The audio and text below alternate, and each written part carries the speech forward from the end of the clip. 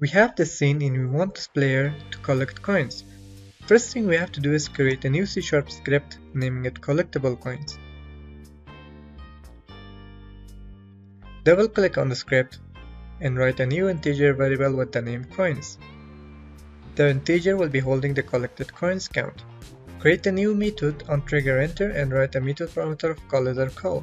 We need an if condition to check if the collided item is having a tag name of coins or not. Click on the coin object and add a tag name of coins. Make sure you select the tag once it's added. Adding a new capsule collider component is needed on the coin and resize it accordingly.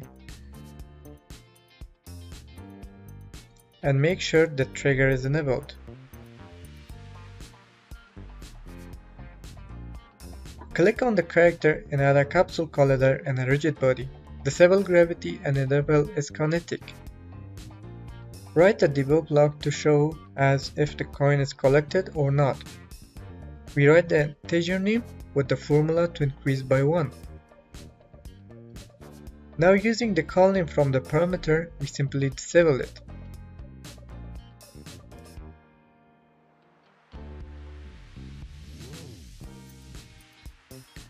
Make sure to add the script on the player and play the scene.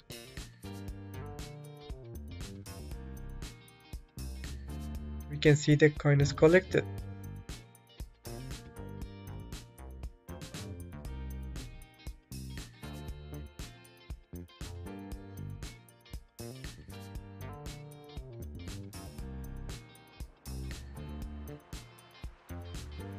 Now let's make the game object coin gets destroyed once it's collected.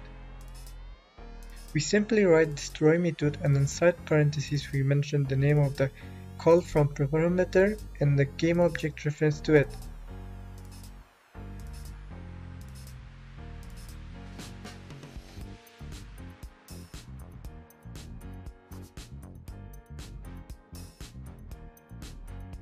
Thanks for watching, make sure to subscribe for more videos.